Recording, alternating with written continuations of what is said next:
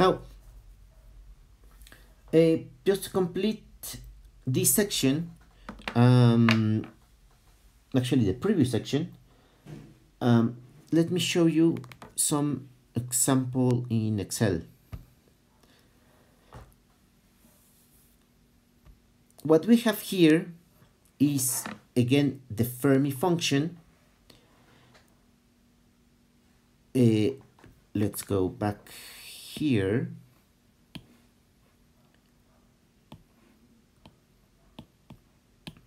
Let me remind you that the Fermi function is the Fermi function is equal to 1 over 1 plus e to the e minus ef over kt, right? So, knowing this, I'm going to call this uh, delta e, all right? And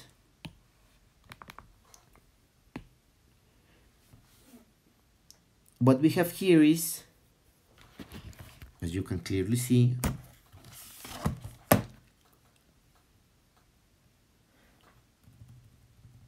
we have um, kT, which is a constant. We have delta energy, so E minus EF. We're going to go from minus 0.2 up to 0.2.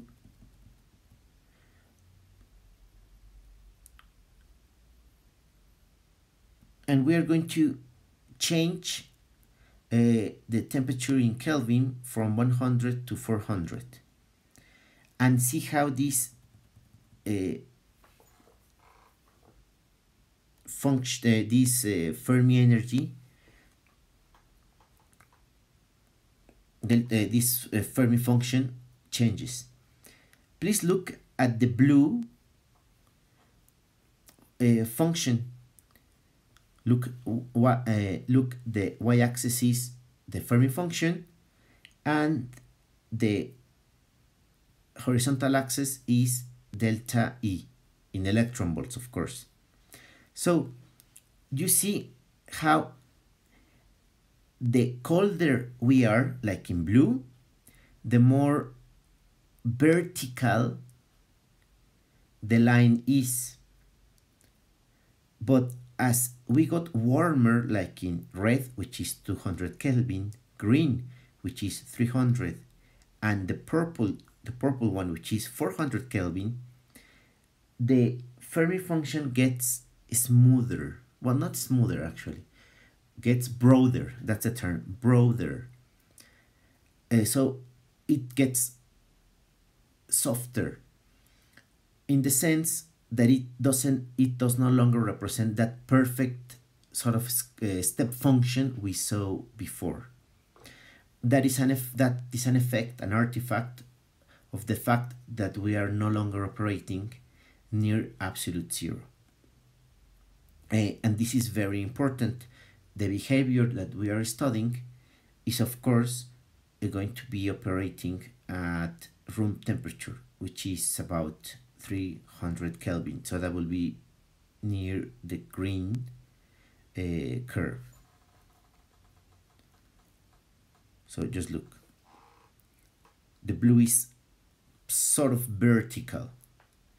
The green, of course, is not vertical, and the purple is much less vertical.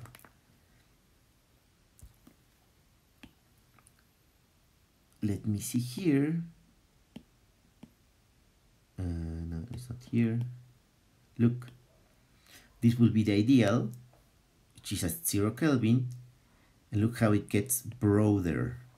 The term, let me write it for you, it's broader. Entonces como que la curva se va alejando de lo ideal, ¿no? Se vuelve como más ancha. Bien, entonces volviendo a lo que les comencé diciendo. Eh, ahora sí, vamos a ver eh, lo que es la distribución en equilibrio de los portadores o equilibrium distribution of carriers. Uh, there is a very simple way of knowing which kind of material we're working with by looking at the energy band diagrams. We have an intrinsic material. These intrinsic materials have EI just in between EC and EV. Uh, we have an N-type material which has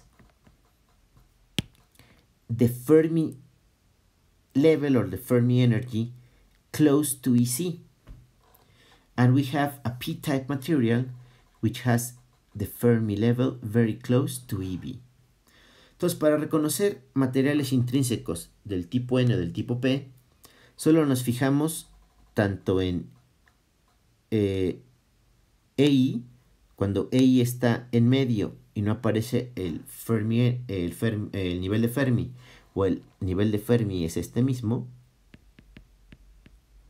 es un material intrínseco. Pero cuando el nivel de Fermi está cerca de la banda de conducción es tipo N, cuando está cerca de la banda de valencia es tipo P. El,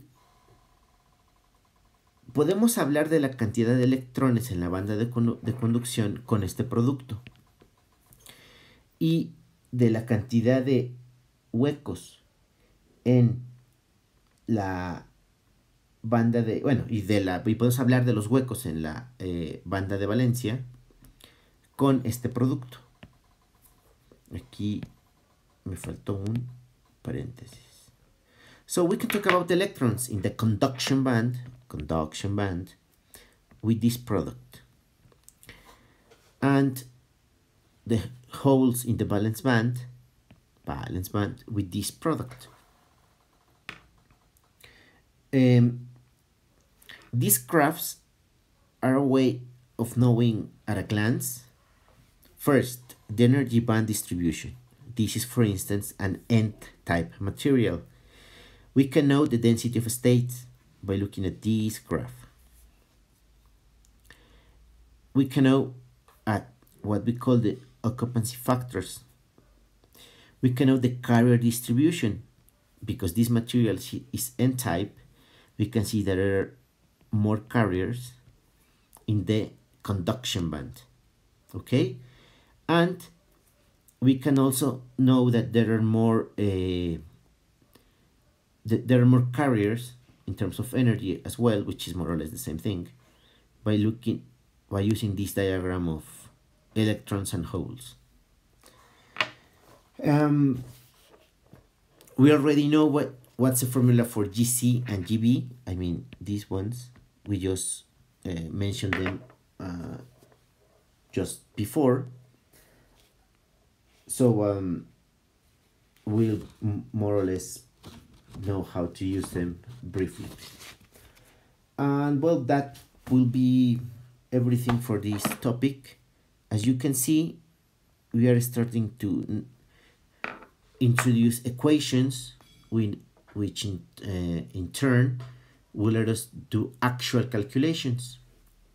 Entonces, eh, como pueden, bueno, como, como estaba diciendo, eh, estos diagramas nos permiten ver rápidamente eh, si un material es NOP, como ya habíamos visto, con el diagrama de bandas, la densidad de estados, con este de aquí,